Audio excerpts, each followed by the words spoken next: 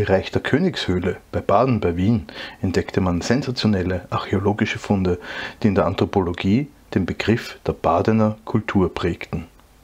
Funde, die bereits aus der frühen Steinzeit stammen, wurden hier entdeckt. Bei der Entdeckung dieser Höhle hier fand man noch Spuren von Malerei an den Innenwänden des Gewölbes.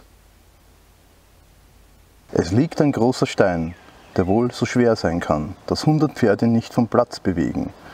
Und wem daran gelegen, der Sache auf den Grund zu kommen, dem dient zu Nutz und Frommen. Er liegt in einem Wald, das Wolfstal genannt, wie jeder weiß, der dort bekannt.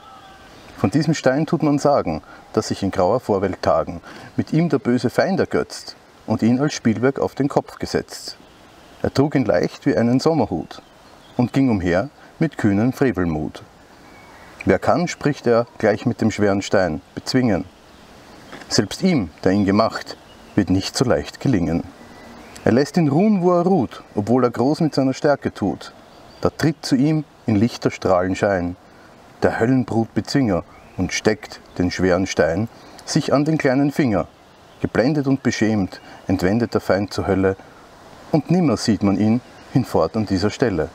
Doch heutzutage noch schaut man klar, wo einst der Kopf des Teufels war und unseres Herrgotts Finger.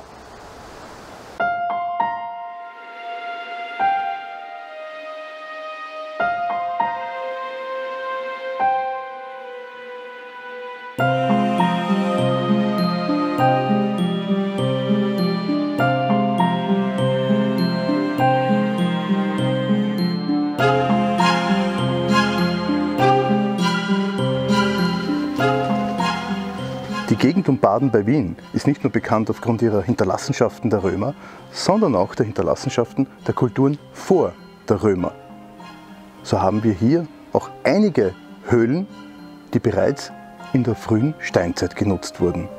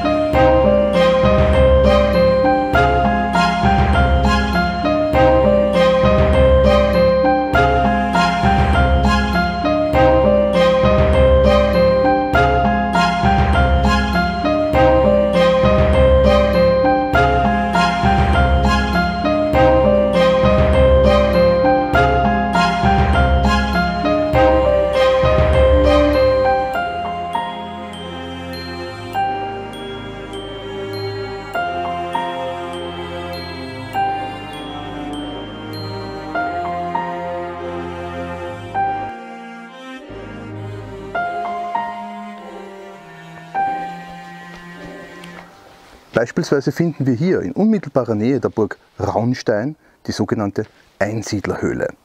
In dem gesamten Gebiet um Baden gibt es zahlreiche Hinterlassenschaften prähistorischer Kulturen, die darauf schließen lassen, dass bereits Kelten oder Latien-Kultur, Hallstatt-Kultur oder wie viele Namen auch immer diese unbekannten Vorfahren von uns haben, gehaust haben. Hier nannte man es dann die Badener Kultur.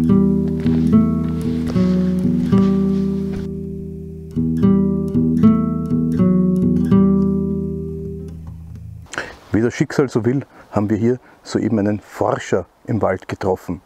Der hat uns erklärt, wer heute in dieser Höhle wohnt. Es sind Fledermäuse.